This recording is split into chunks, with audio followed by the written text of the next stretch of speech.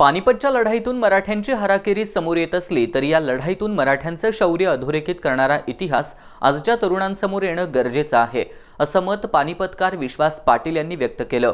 कोल्हापूर ते पानिपत या शौर्य यात्रेतून हे काम होईल असा विश्वासही त्यांनी व्यक्त केला.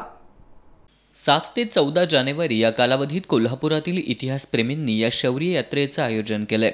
मराठे ज्या मार्गानं या लढाईसाठी गेले त्याच मार्गावरून ही यात्रा काढण्यात येणार आहे.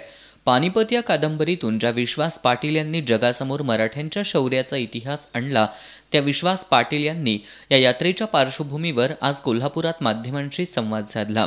कोल्हापूरच्या इतिहासप्रेमींच्या या उपक्रमाचं त्यांनी कौतुक केलं. ज्या काळात नद्यांवर पूल नव्हते त्या काळात बाराशे ते तेराशे किलोमीटर अंतर पार करत मराठा सैन्य तब्बल तीन आठवडे उपाशीपोटी कसं गेलं असेल याची कल्पनासुद्धा करवणं शक्य नसल्याचं त्यांनी सांगितलं. अनेकदा पानिपतच्या लढाईतून मराठ्यांच्या हाराकिरीचीच चर्चा होते. पण ज्या शौर्यानं मराठे या लढाईत लढले ते शौर्य म्हणजे ही लढाई असून मराठ्यांच्या या लढाईच्या शौर्याचा इतिहास अधिक ठळक होण्यासाठी अशा यात्रा पोषक ठरतील असं मत त्यांनी मांडलं. खरं तर शासनानं अशा यात्रेचं आयोजन करणं गरजेचं असल्याचं पाटील यांनी सांगितलं. आगामी काळात कोल्हापूर ते पानिपत शौर्य यात्रा अधिकाधिक व्यापक होईल आणि जास्तीत जास्त लोक त्यामध्ये सहभागी होतील असंही पानिपतकरांनी सांगितलं.